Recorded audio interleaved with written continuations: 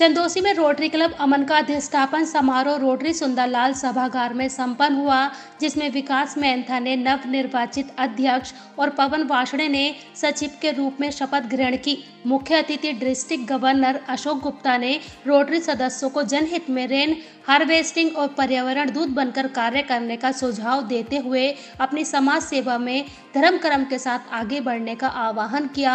वही नवनिर्वाचित अध्यक्ष ने रोटरी अमन के माध्यम से चंदोसी नगर में समाज सेवा के नए आयाम स्थापित करते हुए जनहित के कार्यों को प्रमुखता से करने की बात कही।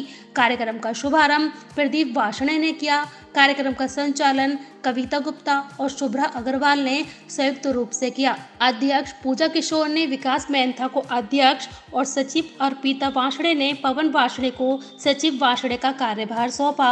सभा में खुशी अकादमी के बच्चों ने रंगारंग कार्यक्रम शिव शंभु भजन पर प्रस्तुति कर सबका मन मोह लिया। मुख्य अतिथि डिस्ट्रिक्ट गवर्नर ने सभा को संबोधित करते हुए कहा कि आज रोटरी सदस्यों को पर्यावरण को बचाने व भूजल के गिरते स्तर को रोकने के लिए दूध बनकर कार्य करना होगा। क्योंकि भविष्य में दुनिया के सामने ये दोनों विकराल समस्या के रूप में होगी। राम बाबू गुप्ता ने कहा कि आज रोटरी सदस्यों के पहचान समाज सेवी के रूप में जनता के सामने है, लेकिन उन्हें अब इससे आगे बढ़कर कार्य करना होगा, जिससे समाज को और अधिक लाभान्वित किया जा सके।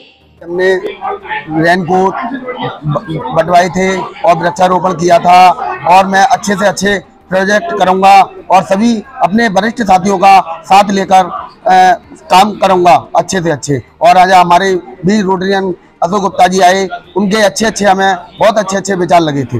धन्यवाद, सर। मैं रोटरी क्लब अमन का मेंबर हूँ चार्टर मेंबर व रीजन का डायरेक्टर हूँ। ये इंस्टॉलेशन आने वाले अध्यक्ष के लिए ऐसा मौका होता है कि वो अपने जो सम्मानित मेंबर को बुला सकता है वह अपने जितने भी कार्य साल में करने हैं उसकी रूपरेखा अपने सच्चे व अपनी टीम के साथ शपथ लेकर एक सबके सामने प्रस्तुत करते हैं और इसमें गवर्नर साहब ही मुख्य अतिथि होते हैं क्यों आधिकारिक यात्रा भी आज हुई है। मेरठ से भी हमारे बार रीजन के सभी पदाधिकारी आए हैं। बहुत खुशी हो रही है, आप सब आए। व हमारे एम्स की सभी को मैं शुभकामनाएँ देता हूँ, हार्दिक अभिवादन करता हूँ।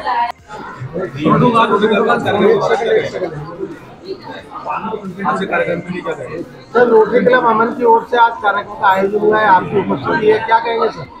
ये रोटरी क्लब का एक इंस्टॉलेशन समारोह होता है हर साल और उसमें एक अध्यक्ष पुराना नए अध्यक्ष को चार्ज देता है पूरे डॉक्यूमेंट सौंपता है इसलिए ये कार्यक्रम होता है और इसमें शहर के जो भी और क्लब के लोग हैं वो भी साक्षी होते हैं। सर आज के कार्यक्रम का मुख्य उद्देश्य क्या है?